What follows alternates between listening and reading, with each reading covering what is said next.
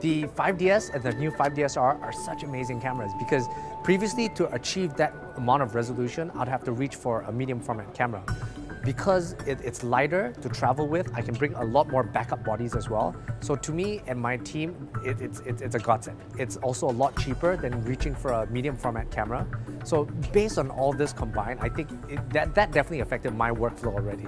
Uh, with the stuff that I've used it for over the last couple of months, shooting with the 5DS and the 5DSR cameras, the quality has been amazing. Some of the benefits, obviously, in terms of size and resolution, being able to sort of blow the images up really big, but also in terms of tonality and dynamic range. Because of the high pixel count, the gradation between colors and the light and shadows are also a lot more beautiful. I think I'm able to see that uh, firsthand because a lot of my work is printed out. So in a lot of like lower megapixel cameras, you can start seeing the banding.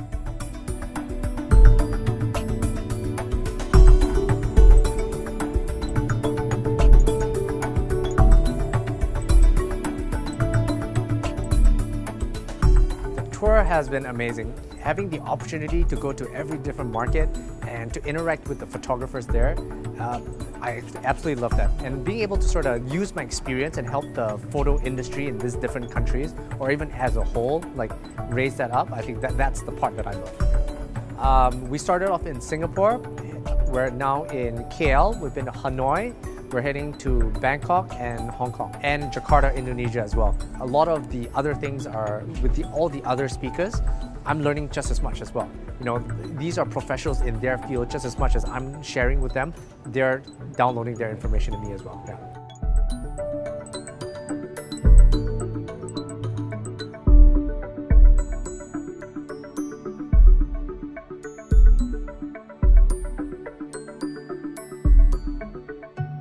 Canon, delighting you always.